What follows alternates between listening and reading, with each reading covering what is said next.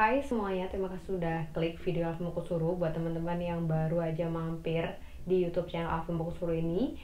Uh, Kalian bisa cek di bagian playlist ada beberapa pembahasan di YouTube channel ini yakni ada tentang Shopee Affiliates, Info Asia, Style Dobler, cara jualan di Shopee Parent Talk, Info Supplier, dan uh, ada beberapa pembahasan lain.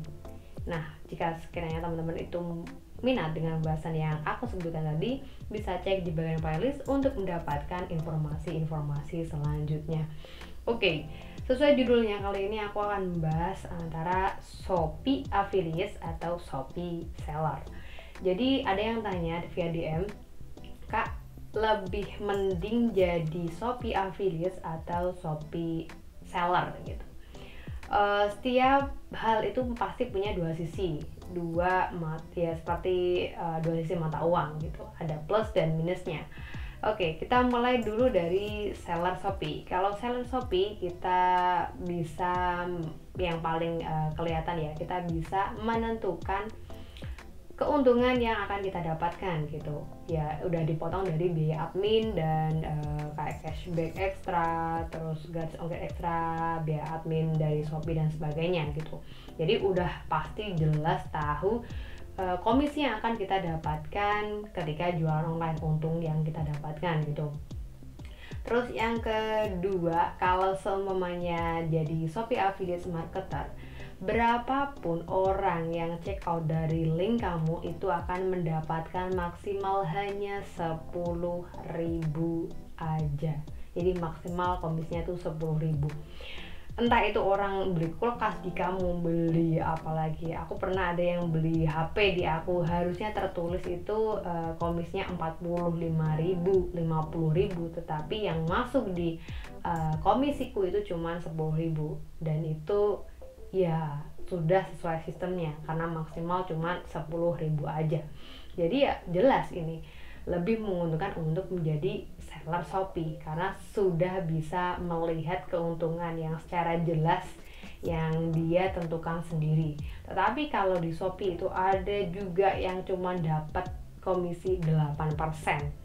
8 persen, 10 persen, 100 per 100, eh 8 persen, 8 rupiah, 10 rupiah, 1000 rupiah, entah apa pun yang dibeli itu disesuaikan dengan uh, yaitu komisnya. Dan maksimal tuh 10 ribu aja. Nah kalau kita jualan di Shopee, kita, ya nggak mungkin cuma 10 ribu dong keuntungannya kalau aku sih gitu karena aku jualannya produk fashion ya.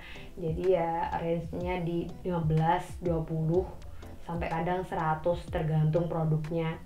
Jangan kaget ketika aku sebutkan keuntungannya tuh 100 ribu karena yang aku jual tuh ada barang branded ya yang kalau langka pastinya banyak peminatnya ya rebutan gitu. Kalau 10 uh, apa 100 ribu keuntungannya ya nggak ada masalah karena sudah disesuaikan dengan marketnya tadi. Terus kalau seumpamanya ini plusnya dari Shopee Affiliates ya ini kita nggak perlu punya produk. Kita cukup daftar di Shopee Affiliates. Kalau di ACC ya udah kita cuman tebar link. Uh, ya mempromosikan. Ya bahasanya mempromosikan link yang ada di Shopee gitu agar orang itu bi, bis, apa tertarik untuk mengklik dan beli produk dari link yang kamu buat. Dan nggak bisa ya langsung tahu apakah ada orang yang check out apakah langsung orang tuh check out dari link kamu gitu enggak cuman ya poinnya kita nggak perlu nyetok nggak perlu uh, berpikiran laku dan enggaknya gitu. Karena resikonya ya nggak ada dong cuma share link dan mempromosikan kita jual omongan dan sebagainya kan ya kalau itu buat teman-teman yang cuma share link kalau semuanya mau beli dulu dan di review ini lebih ke uh, Shopee partner ya. Bukan lagi Shopee affiliate biasa. Karena di Shopee sekarang ada Shopee partner. Yakni komisinya lebih tinggi. Terus uh, dia beli produknya dulu dan di review secara jujur. Ada produk real dan ada wajahnya dia di sana gitu dan buat teman-teman yang sub, uh, apa affiliate marketer terbaru baru daftar baru uh, join gitu jangan asal nyomot. Nanti akun kamu akan bisa dibekukan oleh orang yang mereview ini kalau kamu pakai videonya. Jadi hati-hati. Nah kalau kita jadi seller Shopee itu pasti mikir pulang mikir uh, apa ya bagaimana caranya agar produk ini laku bener-bener laku bukan yang dianggurin aja karena resikonya kalau nggak laku kita nggak dapat uang gitu. Karena kita sudah mengeluarkan modal untuk uh, beli produk ini untuk dijual lagi gitu. Ya resikonya lebih berat di jadi penjual pastinya. Karena harus order dulu baru diperdagangkan uh, gitu. Itulah bedanya Shopee Affiliates dan uh, Shopee Seller jualan di Shopee gitu ya kita dituntut kreatif untuk uh, menjualkan produk kita. Daripada yang affiliate maker ya udahlah kalau nggak ada yang beli ya ya nggak apa kita nggak dapet resiko gitu. Tapi kalau semuanya uh, yang jualan ini harus bekerja dua kali lebih apa ya lebih inovatif dari ini dari yang sekedar dia selling gitu. Terus uh, kalau di Shopee Affiliates ini pembayaran ya. Shopee Affiliates uh, itu pembayarannya banyak banget yang membingungkan karena baru join. Terus kemudian kok ini ada tulisan komisnya? Yang lain dapat komisi aku belum gitu.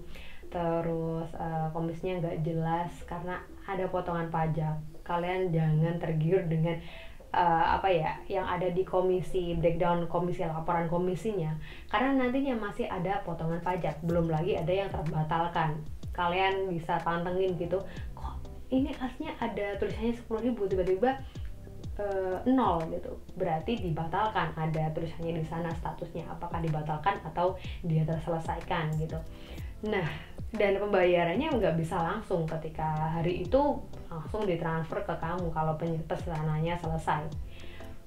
Ya nggak bisa dan karena ada waktu waktu tertentu di mana Shopee Affiliate ini membayarkan komisinya. Kalau di uh, Shopee seller jadi penjual di Shopee sekali orang itu sudah selesai udah menerima paketnya maka penghasilan akan masuk di dana kita jadi bisa wujudnya ya gak wujud ya. Ya pokoknya nominalnya tuh udah bisa dirasakan bisa ditransfer ke rekening kita dan bisa digunakan. Tapi kalau di Shopee affiliates yang affiliates ini kalian harus nunggu dulu nih apakah udah terverifikasi udah selesai udah clear baru nantinya komisinya dimasukin uh, di tulisan komisi itu. Dan dan nantinya di transfernya itu biasanya setelah mendapatkan 4 sampai 6 laporan baru cair. Ada yang bilang mencapai ya udah share tapi nggak eh, nggak uh, dapet dapet komisinya nggak pada wujudnya. Ya itu sendiri udah ada sistem dari Shopee-nya gitu. Kalau aku pribadi pilih mana antara Shopee affiliate atau Shopee seller ya aku menjalani dua-duanya sih. Kalau semuanya di Shopee affiliate ini aku merasa capek dan kayak butuh istirahat ya udah aku nggak usah sharing aku jualan. Ya aku apa jualan jualanku.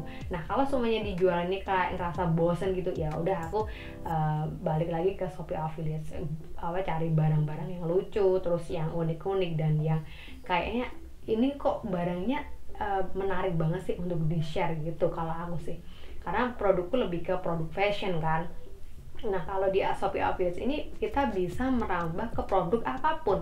Mau share uh, produk mainan anak Terus kemudian produk-produk yang lucu-lucu gemes-gemes Home decor dan sebagainya gitu.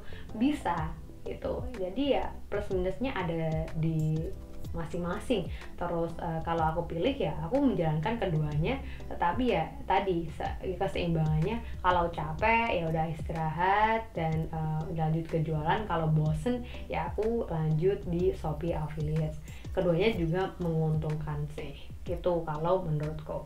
Jadi buat teman-teman yang masih bingung antara Shopee Affiliate atau Shopee Seller ya itu tergantung teman-teman masing-masing sendiri mau menjalankan yang mana. Tapi menurutku pribadi lebih baik jalankan keduanya.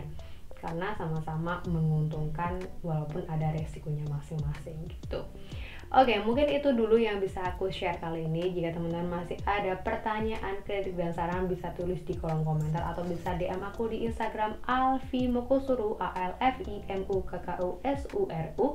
Untuk nanti kita akan diskusi sana dan jika video ini bermanfaat silahkan share ke orang sekitar kalian.